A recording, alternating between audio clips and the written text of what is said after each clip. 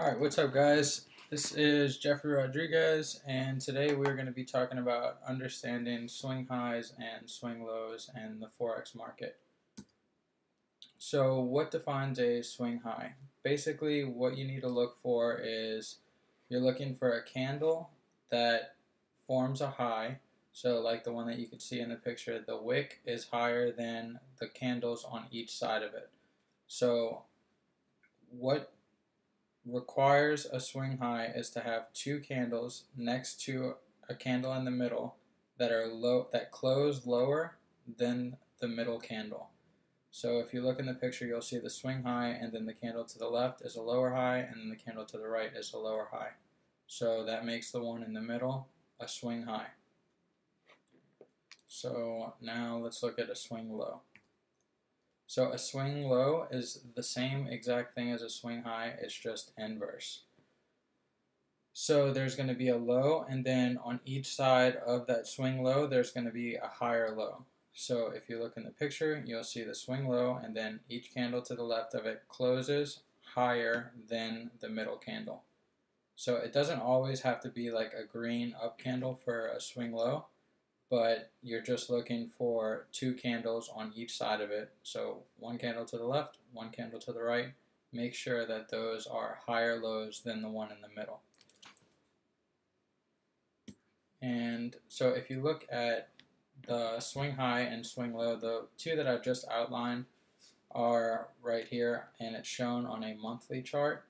And usually whenever a swing high or swing low forms on a monthly chart, it's usually in place for a significant amount of time, just mainly because they they're establishing that on a monthly time frame and when they move away from it, it you know, it's going to take some time to get back to it because it takes one month for it to form and then it trades away for a month.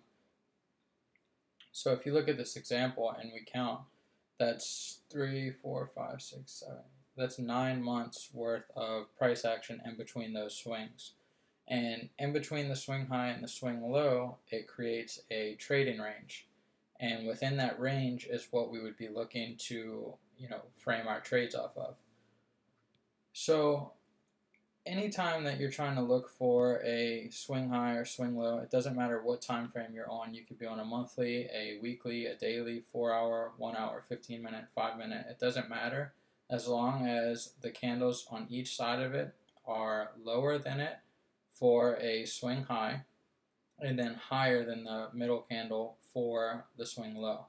As long as that statement is true on any time frame, that would be classified as a swing high or low.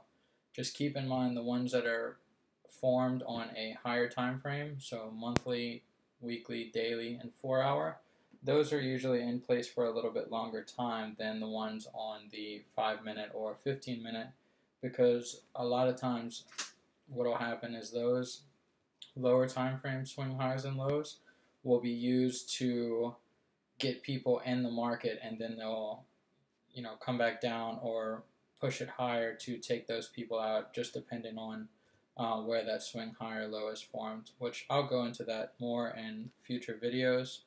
But just to talk about this example real quick, in between the swing low and swing high is 2,765 pips.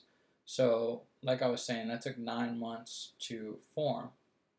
So, in between that though there's multiple opportunities that you could have either you know taken a, a long or even a short uh, within that trading range. You just have to know really what you're looking for. And like I said I'll go over that in future videos. I just wanted to touch on what a swing high and swing low is. So hope this helps. Um, just drop any comments below if you have any questions about anything that I talked about or if you're confused and just be sure to like this video and also subscribe to the channel so you'll get all the new videos whenever I put them up.